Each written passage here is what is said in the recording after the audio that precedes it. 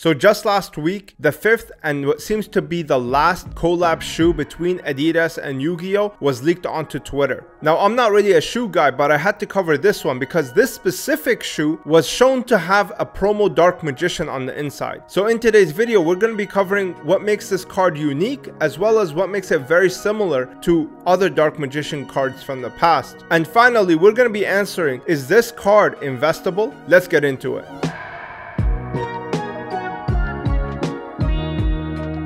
Alright, now firstly, let's get the shoe out of the way real quick. Like I said before, I'm not a shoe guy, but I know ugly when I see it. And this shoe is screaming ugly. I don't know who's designing these things. I mean, honestly, you could have done way better. At least the first iteration of this collab, the Blue Eyes and the Dark Magician shoes looked a little bit decent. This one is just obnoxious. Like, it is just so ugly, man. I don't know who thinks that they can pull these off, but there's an ice cube's chance in hell that you'll catch me wearing these in public public. Like that's an easy pass for me. But for the sake of this video, we're gonna cover this shoe as well as the ones before it. So the first two iterations of this shoe, they came in all white, but they had basically a cutout of SDK and SDY Dark Magician and Blue Eyes slapped onto them. Very poorly done in my opinion. Like the design did not flow. The shoes looked kind of childish in my opinion, but it is what it is. They sold out and they actually go for three to four times more than what they retailed for. In the more obscure sizes like the small feet and the super gigantic feet, you might be able to get them for two to 300 bucks. But if you're talking like 9, 10, 11, you're going to be shelling out at least 400 bucks. Now, the second collab from the series started getting a lot uglier and they introduced slippers with Kaiba and Blue Eyes, Yugi and Dark Magician. Again, I don't know who's greenlighting these shoes, man. Like these are so bad. They're actually worse than the Dragon Ball Z ones that they did like a few years back. The white ones, I guess you can kind of get away with them, but the slippers, man, that like nah, man. I just can't wear something like this, man. But what I do have to give them props for is like the cool packaging and accessories that came with the shoe. So obviously the boxes, if you haven't seen them, they look really, really badass. Honestly, I think they did a great job with the boxes. Even the tissue paper is marked with Millennium items and stuff like that. Overall, I think the presentation was pretty solid. It's just the shoe is crap, but the presentation was pretty awesome. And then to top it off, they actually included a hang tab of an Exodia piece in every single one of the shoes. So the Blue Eyes shoe and the Dark Magician shoe, they both had left and right leg. And then the slippers had left and right arm. And then this final collab is the one that's obviously going to have the head. But that gets us to this shoe right now. This shoe has a lot more Yu-Gi-Oh embedded in the design. And in my opinion, it's almost to a fault. It's primarily black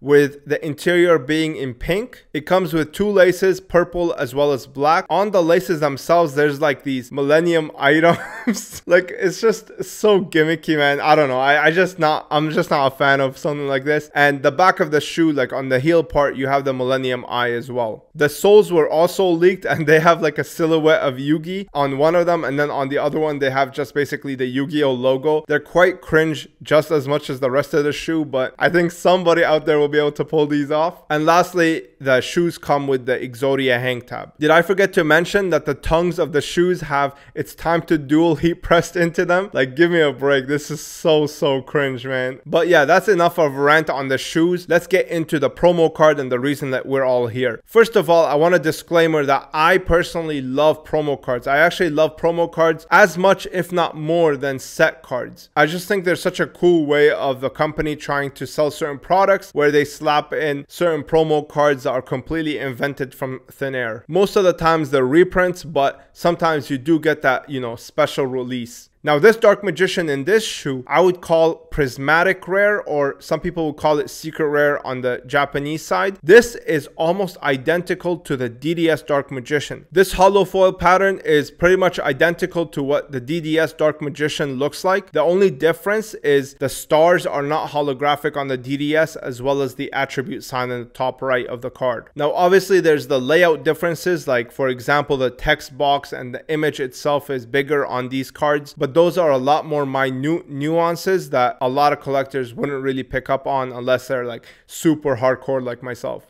The card is coded with ADC1-EN001, which I believe stands for Adidas Collab number one. And it looks like it's going to be coming in one of those wrappers that have Konami in the top left. And on this wrapper specifically, you have the Adidas logo as well as the Yu-Gi-Oh logo. Now for the astute observer, you're going to notice that there's actually an Adidas logo embedded into the flavor text box. I think that this is such a unique aspect of this card. I mean, we've never really seen this other than like 10,000 Dragon and uh, 20th anniversary promos on the OCG side. So to be able to get it on the TCG side with the Adidas logo, I think in my opinion is kind of cool. It's really unique. I mean, I think that this card is going to be a home run to be honest with you. Now to answer a very important question, which is how will this affect the DDS Dark Magician? In my opinion, I don't think it will affect DDS at all. You guys have to understand that DDS Blue Eyes and Dark Magician have this like kind of majestic aura around them in the Yu-Gi-Oh community, okay? For some reason, these cards were always expensive even from back in the day. When starter deck Yugi, starter deck Kaiba were around the 20 and $50,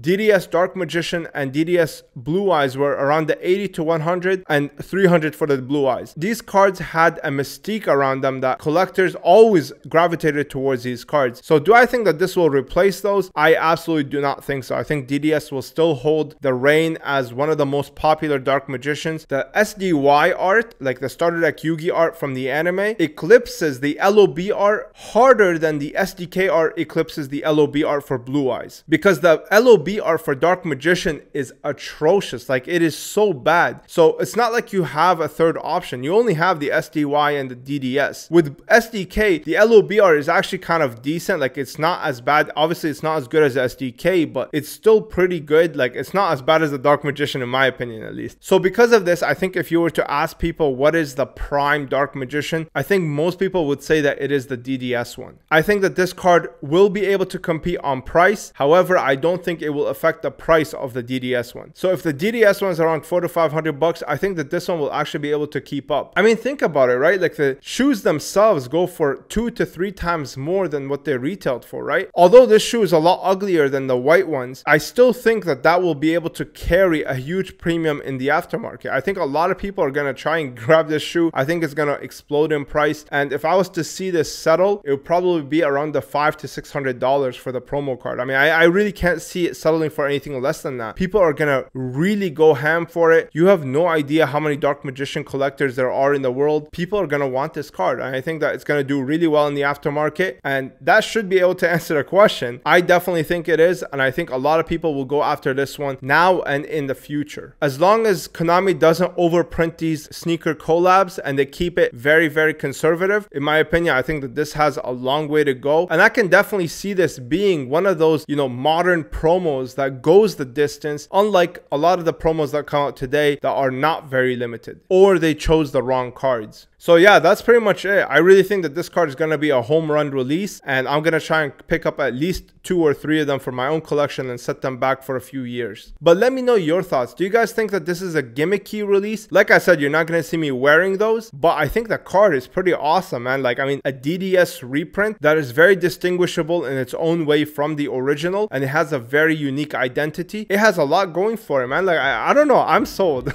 let me know your thoughts, guys. Comment down below, like the video, subscribe if you want to see more. If you want to support the channel further, I have a Patreon, but you can also purchase your own Gardena binders. I make them myself. They're extremely high quality. Check them out at strictlysealed.com. Other than that, I hope you guys enjoyed and I hope you learned something. I'll see you in the next one. Peace.